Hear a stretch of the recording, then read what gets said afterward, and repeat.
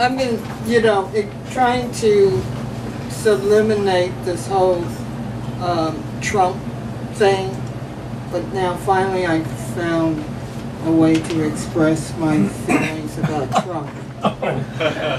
and um, um, I've been like videoing Lower East Side jazz musicians for about 20 plus years, and trying to find a musician who will be appropriate to back me up on this. So this is my second time reading this without the musician. And it, at the end, you'll figure it out why I need a musician. Okay, a Trump story, the Revolution Blues. The rich in New York City are having a revolution on the poor people. They want to starve us from this blighted neighborhood so that, so that better housing can be built. Even the fascist government participates when aligned with Russia's politics. They protect the rich by providing tax-free programs for developers as well as owners of condos, luxury co-ops, and homes worth millions in the housing market. Recently, I was told that the Ray Supermarket Pathmark in the middle of Rutgers housing projects in the Lower East Side will be Trump's new luxury tower for millionaires. I grew up in those housing projects like many poor Asians in America. The poor depended on the supermarket's low prices and its close vicinity. Now the poor have to walk over to Grand Street or to Delancey's Essex Street Market. This mythology slowly causes starvations, famines, and deaths in the community. Once the revolution has be once the Pathmark and construction for the luxury condo began, the revolution has begun when Trump announced his candidacy for presidency. By then, when the tower is completed, the masses have moved out of the community due to noise pollution, land sinkage, cracks on their walls, backed up sewage water, no parking, and other urban problems. With the rich moving in, crimes will increase caused by the poor minorities, enraged evictions and homelessness.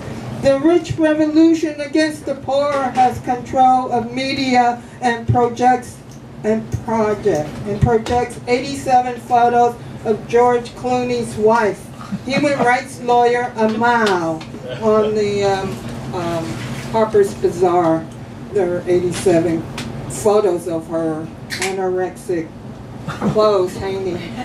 And I could only look at 40 of those clothes before I decided that, I mean, you know, she's a human rights and labor, um, she's a human rights for the Maldives Muslim nations, um, which is the report on human rights practices in the country that most significant problems are corruption, lack of religious freedom, and abuse and unequal treatment of women, being Muslim, whatever.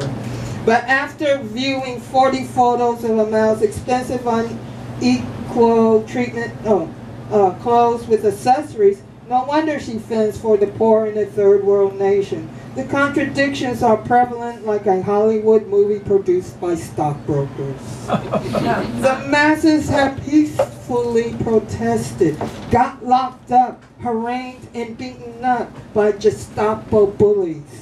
Memories of the Holocaust still prevails.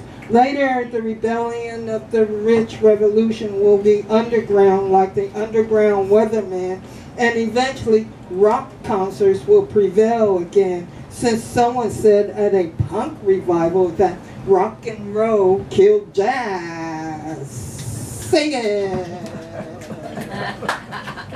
Ah.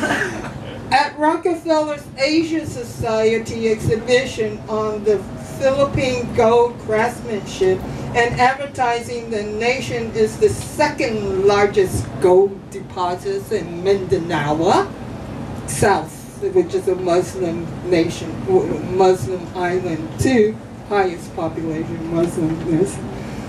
Um, is the second largest gold deposit. I suppose one of Trump's goal would be to hoard the gold for himself and to build further millionaire luxury condos. Ah! do I still have one? Okay. Very quick. All right. This was written in 19, 2006, and uh, it's about it's called demagogue as opposed to oligarchy. So demagogue, you know, means a political leader who seeks support by appealing to popular desires and prejudices rather than by using rational argument. The decadences of the first world, as reflected in the decadences of the third world. Social class structures, barriers of shunned communications, where humanity is a serious agenda. Cry, tear for the concerned citizens. The upper class are living with such privileges where I become the enemy forced to enjoy the other. Democracy becomes a side order of salad with Russian, French, Italian, Hispanic, and American dressings. the main course is what they want in society unless the masses agrees to recognize the universal experiences of suffering to riot. And um, so, you know, now we're faced with an oligarchy, which is about small group of people having control of country, organization, and institution, the ruling oligarchy of military men around the president. Thank you.